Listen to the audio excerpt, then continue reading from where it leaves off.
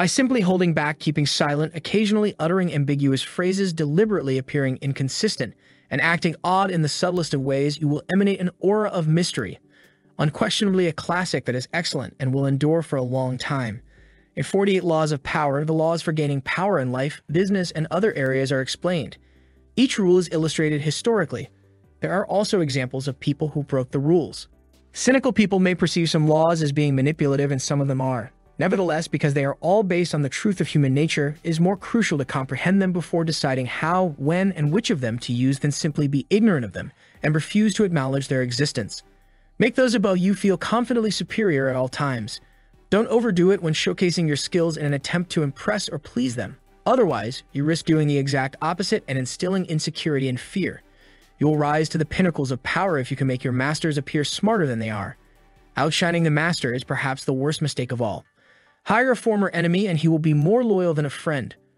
Friends will betray you more quickly because they are more susceptible to envy. They also develop into spoiled and oppressive. However, a former enemy will be more obedient than a friend because he has a greater sense of obligation. In actuality, you have more to worry about friends than enemies. Find a way to create enemies if you don't already have any. Keep people guessing and off balance by never revealing the reason for your actions. They can't prepare a defense if they don't know what you're up to.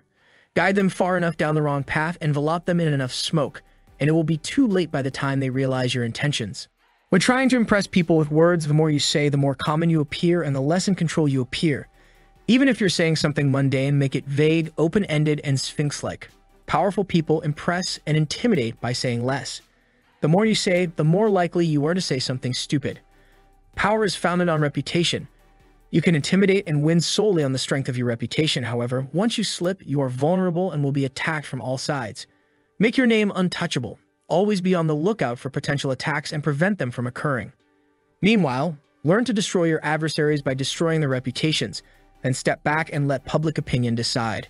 Utilize the expertise, knowledge, and hard work of others to advance your cause. Not only will such help save you precious time and energy, but it will also endow you with a godlike aura of quickness and efficiency. Ultimately, your helpers will be forgotten while you are remembered. Never do something that someone else can do for you. Lure others into your territory or the territory of your choice. You are in charge when you coerce someone else into taking action. Making your opponent come to you and forego his plans is always preferable. Entice him with fantastic gains, then strike.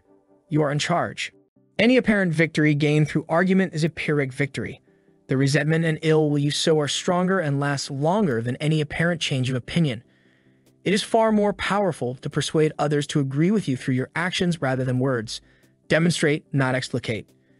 You can die from someone else's misery. Emotional states are as contagious as a disease. You may believe you are assisting the drowning man, but you are causing your disaster. Unfortunate people sometimes attract misfortune to themselves. They will also attract misfortune to you. Instead, associate with the fortunate and happy. You must constantly be needed and desired if you want to keep your independence. More reliance on you means more freedom for you. Make people rely on you for their well-being and prosperity and you won't have anything to worry about. Never give them enough knowledge to enable independence. A genuine and honest move will outweigh dozens of dishonest ones.